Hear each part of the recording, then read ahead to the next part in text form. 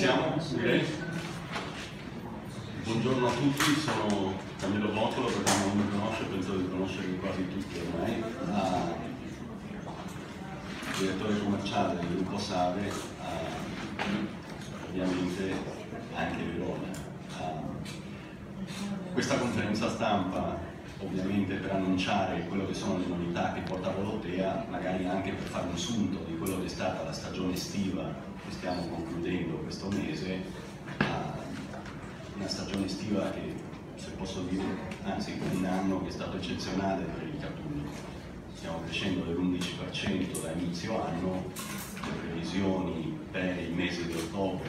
che è stato un ottobre assai strano in, in confronto agli anni precedenti perché tutto il mercato ha un po' rallentato, però sempre con un 8% di crescita e quelle che sono le aspettative per il mese di ottobre, con un novembre-dicembre, cioè l'inizio della stagione invernale, come voi sapete avviene a fine ottobre, le previsioni di capacità in vendita sono di un aumento del 20%, per cui tutto ci fa pensare che anche la crescita dei, dei passeggeri seguirà un trend a, a doppia cifra. Detto ciò, le aspettative per noi sono di chiudere attorno a 3 milioni e 450 giugni e ovviamente gran parte di questa crescita è stata portata avanti grazie a Volotea, non solo a Valeria che gira con una trottola in giro per l'Italia,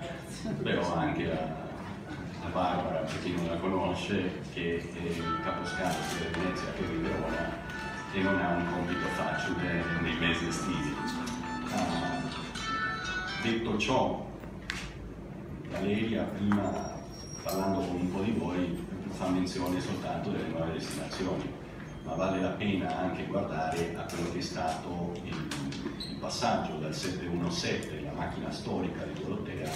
dal 13 a 9. Tutto nella presentazione.